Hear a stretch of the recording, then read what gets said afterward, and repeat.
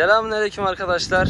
Bugün sizlerle birlikte kuzenim Doğan'ın bu Megane Siren var ya tanıyorsunuzdur.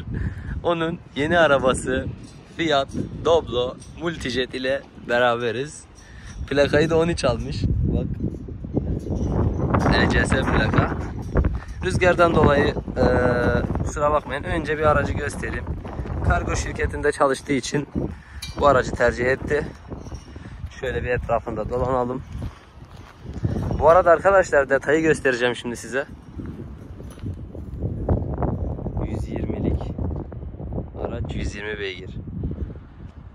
Ve efsane bir şey. Şöyle bir etrafında dolanalım. Evet arkadaşlar şurada da bizim efsane Tiguan. 2.0 200 beygir. Evet arkadaşlar arabamız bu. Şimdi ben tek varım arkadaşlar. O yüzden eee, aracın içini dışını size şöyle göstereceğim. Arkadaşlar şöyle şuralara piyano black detaylar yapılmış. Ön iki camımız otomatik tek tuşla açılıp kapanıyor. Şuradan şöyle odaklasın. Heh, arka kapının kilidi buradan açılıp kapanıyor. Şöyle bir içine geçelim. Rüzgardan etkilenmeyelim o kadar. Arkadaşlar şöyle göstereyim size. Araç 6 ileri 120 beygir. Şöyle e, daha 23 bin kilometrede. Araç sıfır ayarında yani şunda anahtarı şöyle takıyoruz. Dur anlık direksiyonu tutayım. Şöyle göstereyim. Depo da fullmüş. Bunun anlık tüketimine nereden bakacağız? Şöyle mi inip çıkıyorduk? Anlık tüketim. Tüketim direkt yok mu? Hmm. Direkt tüketim yok. Şöyle içi böyle arkadaşlar. Şurada bir ekranımız var. Araç full paket değil. Araç ama dolu. Ee, şöyle bu araçlarda en büyük e, artı olan şey klima. Aracımızda klima var. Şöyle bir ekranımız var. Araçta bluetooth yok ama şuradan USB ile bağlandığınız zaman araca e, ses, telefon falan aktif oluyor. Onun için yani güzel bir sistem ama keşke bluetooth olsaydı. Yani maalesef bluetooth'umuz yok.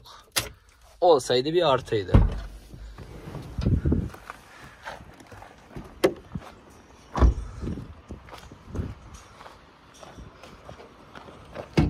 Şöyle en alttaki tuşla açıyoruz. Arkadaşlar şöyle içini göstereyim size. Şurayı da açayım. Tam gözüksün. Arkadaşlar içi şöyle geniş. Ya halı falan koymuş. Yani şey olmasın diye. Kargo işinde zaten çalışıyor araç. Şöyle kapısını kapatalım. Şunu da kapatalım. Orta kapıdan bir de bakalım. Şuradan. Arkadaşlar içi baya geniş. Bu uzun olan paketten. Uzun şasi. Ee, X-Lash geçiyor galiba bunlar. Arkadaşlar bu sınıfta zaten bu tarz mesleklerde ilk başta Doblo tercih ediliyor. Ardından e, diğer araçlara geçiyorsunuz.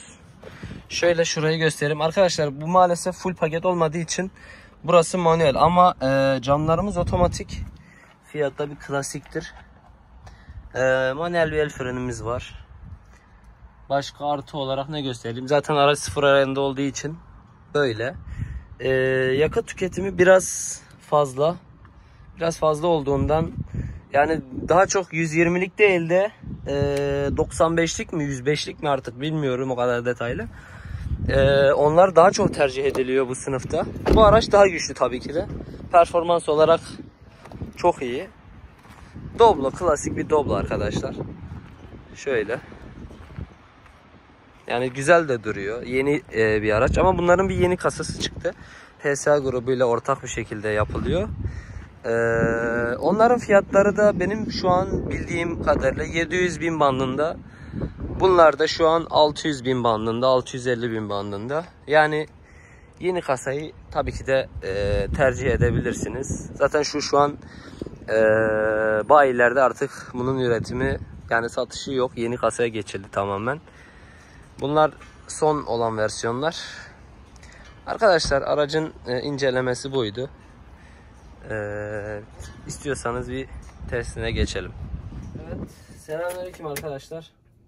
Bugün Doblo ile birlikteyiz. Bu aracın yukarı arça He, bu arkayı ayarlıyormuş. Arkadaşlar yukarı aşağı pozisyon ayarı yok. Evet. 1.6 Multijet 120 beygirlik aracımız. Şimdi ben bunu size anlık şeyini anlatacağım.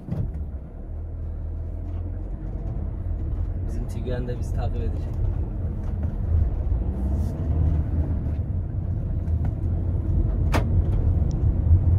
Evet arkadaşlar şimdi aracımız bu. Doblo 1620 beygir. Ne katili diyelim buna? Genelde Courier'la tartışıyorlar. Yok Courier'la Fiorina'yı tartışıyorlar. Ee, bunun şeyini e, sınıfında rakipleri nedir? Arkadaşlar bu e, Citroen Berlingo ile daha çok tartışıyorlar. Peugeot Partner'la daha çok tartışıyorlar. Şimdi arkadaşlar ilk önce bu aracı size böyle bir e, söyleyeyim. Bunun daha çok e, merak edilen Doblo'da daha çok merak edilen şeyler ne? Bunun yakıtı çok merak ediliyor. Yani çünkü bu aracı iş aracı olarak arıyorlar. 1.6 panel van 120 beygiri merak ediyor piyasada genel olarak. Ben size şöyle anlatayım. 120 beygir güç olarak tabii ki de çok iyi.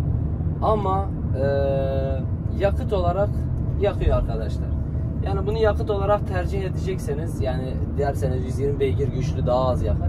Bu yanlış arkadaşlar. Bu araç biraz daha fazla yakıyor. Yani aldığına da tık pişmanlık var e, yakıtından dolayı. Çok yakıyor.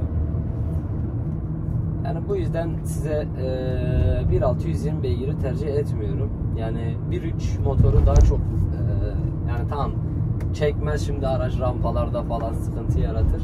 Ama bunu fazla tercih etmiyorum o konuda. Ama güç olarak gerçekten çok iyi.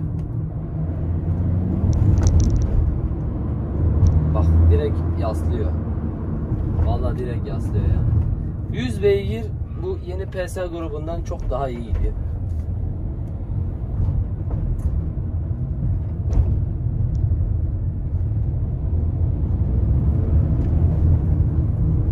Şöyle bir abanayım işte. Böyle hafif bastım.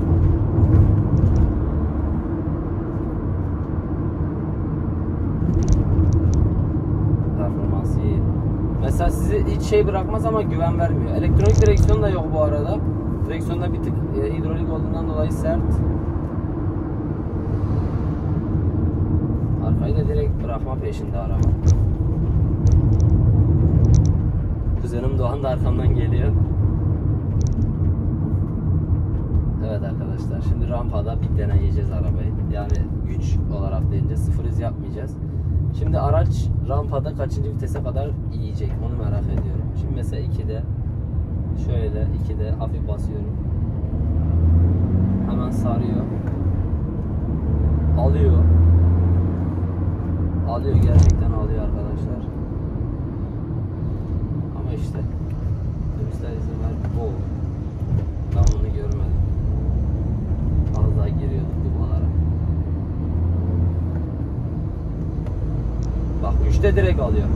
Direkt bak yaslıyor. Solluyoruz hatta. Çok iyi o konuda. Şimdi zaten gerekli testleri yaptık araca. Yakıtı falan merak ediliyordu. Bak 3'te mesela gaza basıyorum. Dik bir rampada direkt alıyor. Direkt alıyor bak. Direkt alıyor.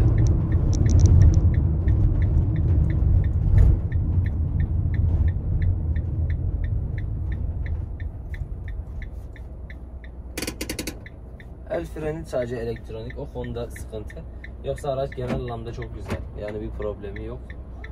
Ee, arkadaşlar size aracı tavsiye ediyorum.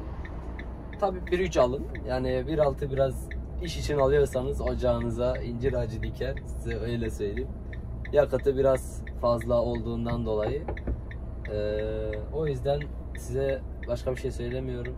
Kanalıma abone olmayı, videolarımı beğenmeyi unutmayın. Kendinize iyi bakın. Hoşçakalın.